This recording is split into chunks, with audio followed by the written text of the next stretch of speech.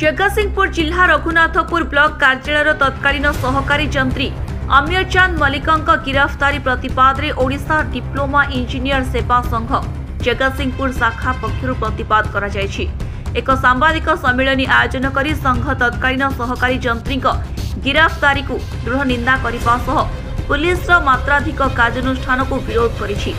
ସୂଚନା ମୁତାବକ ରଘୁନାଥପୁର ବ୍ଲକର ତତ୍କାଳୀନ ସହକାରୀ ଯନ୍ତ୍ରୀ ଅମୀୟ ଚାନ୍ଦ ମଲ୍ଲିକ ତାଙ୍କ କାର୍ଯ୍ୟକାଳ ମଧ୍ୟରେ ଆମ ଗାଁ ଆମ ବିକାଶ ଯୋଜନାର ଅର୍ଥକୁ ଅପବ୍ୟବହାର ତଥା ହଡପ କରିଥିବା ଅଭିଯୋଗ ହୋଇଥିଲା ଯାହାକୁ କେନ୍ଦ୍ର କରି ରଘୁନାଥପୁର ଥାନାରେ ଏକ ମାମଲା ମଧ୍ୟ ରୁଜୁ ହୋଇଥିଲା।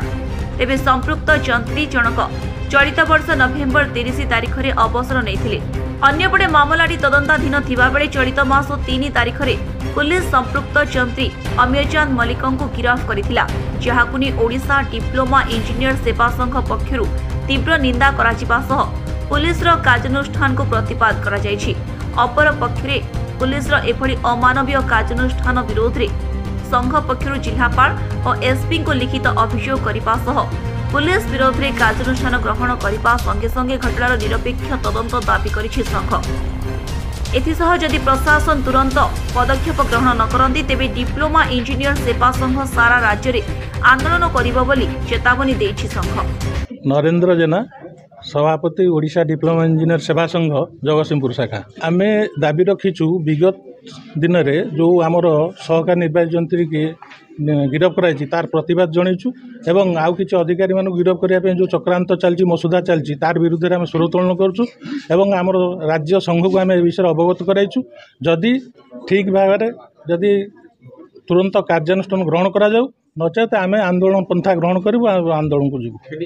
Suryanarayan Barik Odisha diploma engineer service ସେବା ସଂଘର ଜଗତସିଂହପୁର ଶାଖାର ସମ୍ପାଦକ। ଗିରଫଦାରୀଟା ସମ୍ପୂର୍ଣ୍ଣ ଭାବରେ ଅଗଣତାନ୍ତ୍ରିକ ଅମାନବୀୟ ଏବଂ ଆକ୍ରୋଶମୂଳକ ଢଙ୍ଗରେ ବେଆଇନ ଭାବରେ କରାଯାଇଛି। ତେଣୁ ଆମେ ତାର ଦୃଢ଼ ପ୍ରତିବାଦ କରୁଛୁ।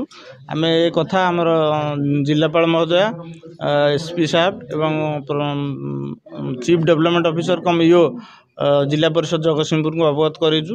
ତତ୍ସଙ୍ଗେ ସଙ୍ଗେ ଆମର ଯେଉଁ ଆଠଟି ଯାକ ବ୍ଲକ ବ୍ଲକର ମଣ୍ଡଳ ଉନ୍ନୟନ ଅଧିକାରୀମାନଙ୍କୁ ମଧ୍ୟ ଅବଗତ କରୁଛୁ।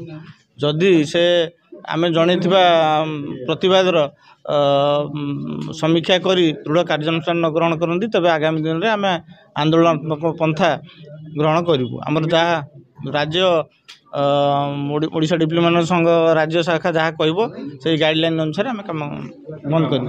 ଯେଉଁ ଘଟଣାରେ ସମ୍ପୃକ୍ତି ନାହିଁ ଯଥା ଭାଉଚରର ଇଭାଲୁଏସନ୍ କରିବା ବା ଭାଉଚର ଅଥେଣ୍ଟିସିଟି ପରୀକ୍ଷା କରିବା ସେଥିରେ ତାଙ୍କୁ ସମ୍ପୃକ୍ତି ଦର୍ଶାଇ গিরফ করা যাইছি সেসব কার্য করা সম্পূর্ণ ভাবে ব্লকর আকাউন্ট সেকশনর কাম যথা আকাউন্টাট আউ আকাউন্ট সেকশনর কাম সেথিরে যন্ত্রীঙ্কর কৌশি কার্য নথায় যদি তাহা মনকর ভুল বলি ভুল লা বা ভুল বলি সে ভাবুচার তাহলে সে তদনুসার কাম স্টেপ নেই থাকে সে কথা নকরি আঙ্কু অযথা ভাবে ମାନେ ଆକ୍ରୋଶମୂଳକ ଭାବରେ ସମ୍ପୃକ୍ତ କରି ଅମାନବୀୟ ଢଙ୍ଗରେ ଗିରଫ କରାଗଲା।